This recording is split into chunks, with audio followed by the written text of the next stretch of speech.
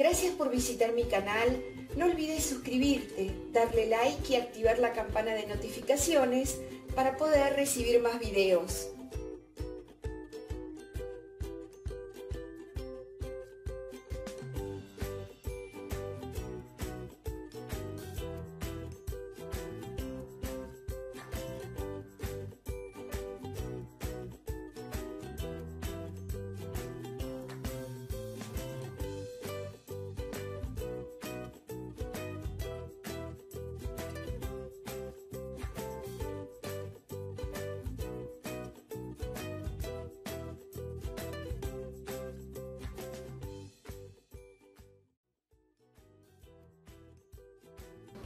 Heliotropo, la piedra de sangre que previene el envejecimiento.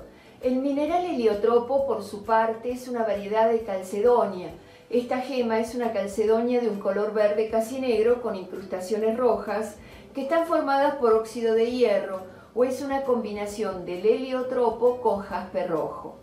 Cuando la piedra tiene jaspe rojo en su composición, las manchas toman un color rojo y debido a esto los ingleses le llaman a la gema bloodstone, que en español vendría siendo piedra de sangre.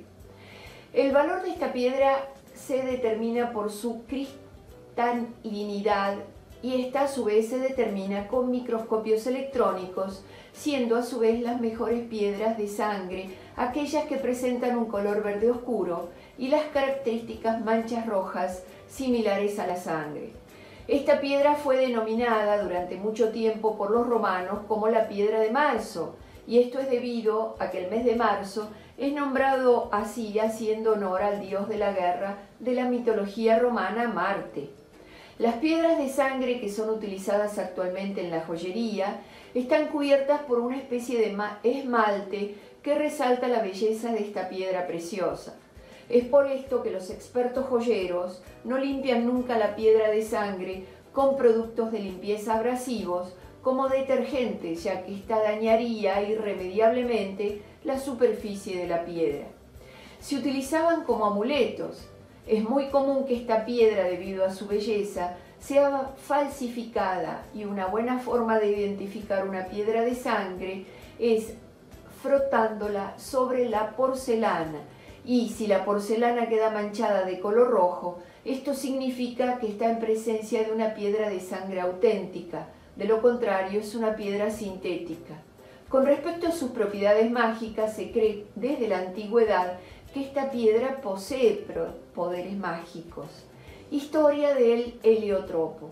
En la Edad Media los babilonios usaban la piedra de sangre para aumentar y perfeccionar sus poderes de adivinación y junto a los egipcios utilizaban esta piedra para eliminar a sus enemigos, utilizándola para incrementar la fuerza de sus soldados.